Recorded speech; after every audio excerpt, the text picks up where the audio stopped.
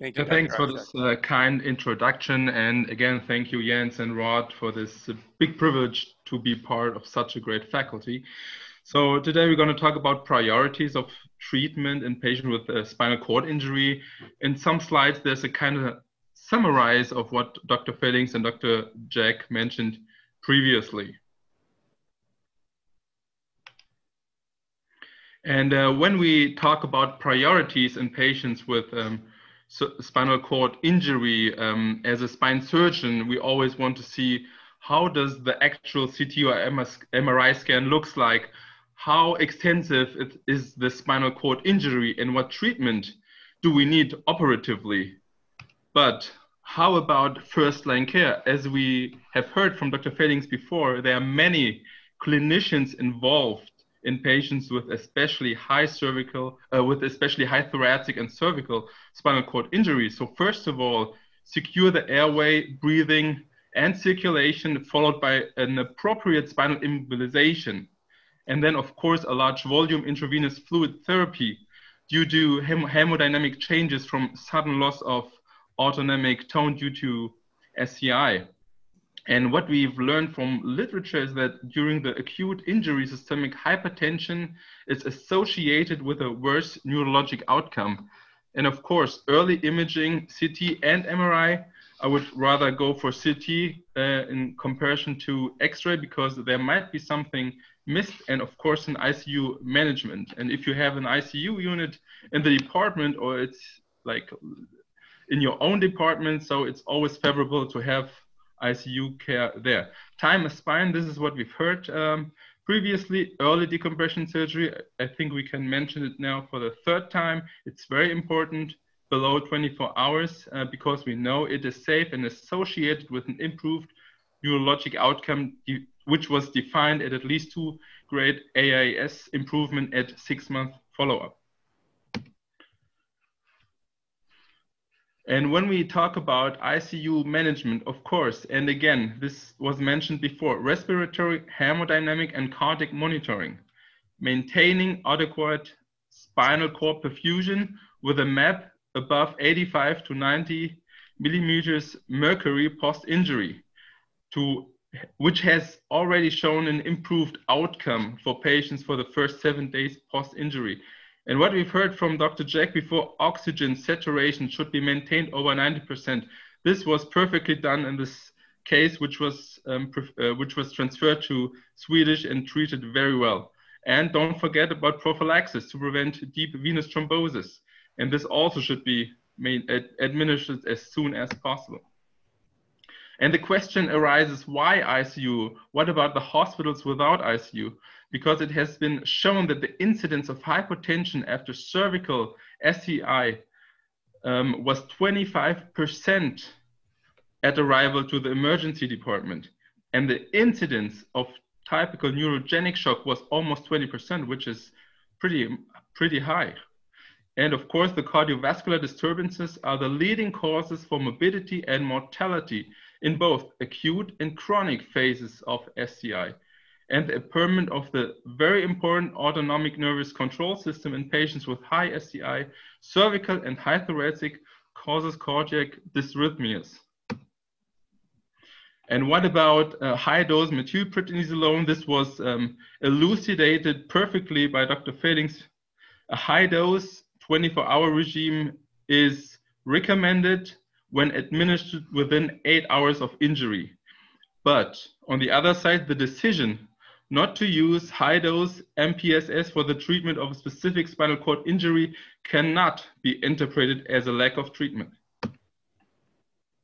So when we were talking about priorities in it, for spine surgeons, emergency doctors, ICU doctors, but how about patient priorities?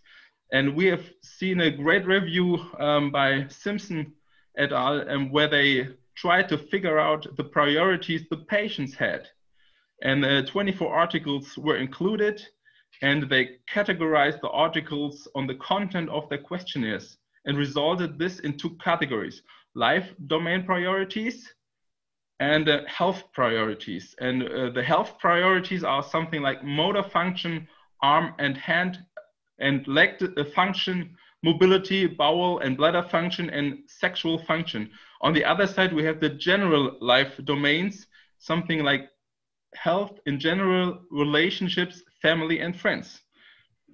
And the summary of the important health and life domains identified from the systemic re systematic review that are considered priorities by individuals, individuals with SCI.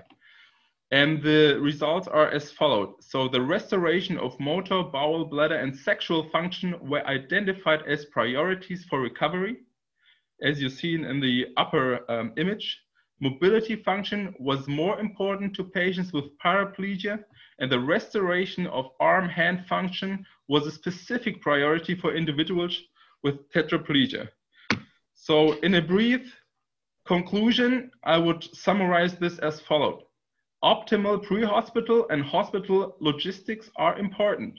As we have seen many, many times before, time is spine, and this is really true.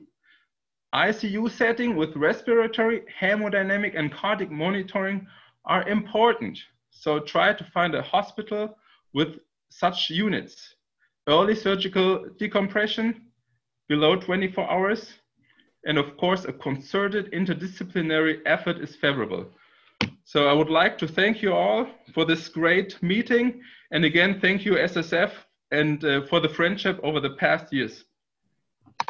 Thank you, Dr. Ishak. Outstanding. Very good. Now, Jens, next on the agenda is spinal cord injury discussion. I see that we are very far behind, though, in regards to time.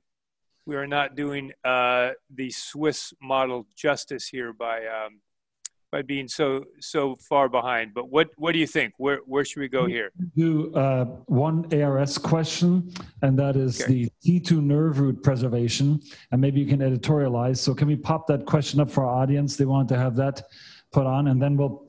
How about we put on uh, an always popular question on steroids? What do you think about that? And then we switch to a stretch break and um, a quick poll of our industrial sponsors. Does that sound okay to you? Sounds Rick? great.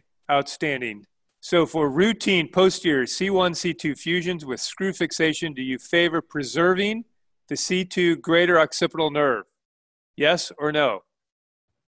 Oh, Jens, this is easy. Why would you get rid of a nerve with the name greater in front of it? I agree. okay, we, we will see. We will see what the uh, audience says. Now, I, I don't see that the numbers are going to come up for me yet, so you're going to have to tell us. I will. the answer is. Oh, so oh, you can see that. There it is. This is a red wave. Preserving. Yes. 85% safe. Preserve the C2 nerve. We have a very good audience, Jens. We have a very, very smart audience here. I, am taking a picture of this and showing this to my nerve root sacrificing partner, Dr. O. Perfect. Dr. O. Next question uh, will be the steroid question. Since this is again uh, obsessed uh, a lot of people and has a lot of controversy, maybe you can editorialize from your perspective your thoughts on steroids or no, or poll some of our great panelists. Uh, uh, steroids, yes or no, and then we'll move on to the uh, industry exhibits. Okay, so is the question up? I don't see it yet. I don't see the question yet.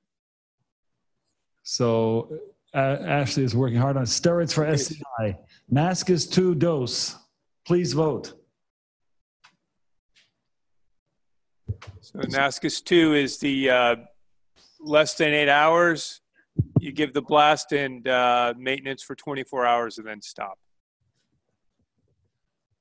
just as Michael was telling us. So, industry, uh, industry sponsors. We're doing the industry walk around. Where are they? Oh, they're all. It's all online. Oh, yeah. So how can I ask questions?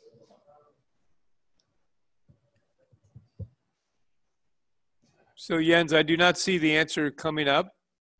Oh, so again, there we go. Yes, 68% say yes for steroids. You know, that's really, really interesting. I think Michael has changed our, our thinking. I mean, I think a year ago, Jens, it would have been a lot less than that. Do you agree? Yeah, we had when we had John Hurlbert here, he gave yeah. a very convincing lecture about don't give it. Uh, I'd yes. be curious to hear Ashraf and uh, Wilson, uh, Zach uh, give their perspective. So, UCSF steroids in your trauma center for acute SCI, yes or no? Uh, we we don't give them.